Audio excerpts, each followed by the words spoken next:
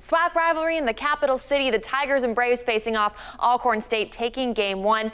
Game two, though, a score fest from the get-go. Braves show the Tigers what they're made of. Top of the second, Patrick McMahon slams one. There's no chance for those Tigers on this one. That ball is out of here, scoring two.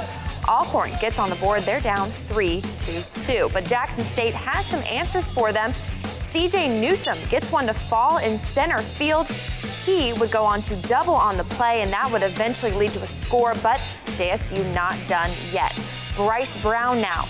He's going to smash one to right field. Sam Campbell runs it in, and just like that, Jackson State leads 6 to 2. They would go on to take game to 16 to 4.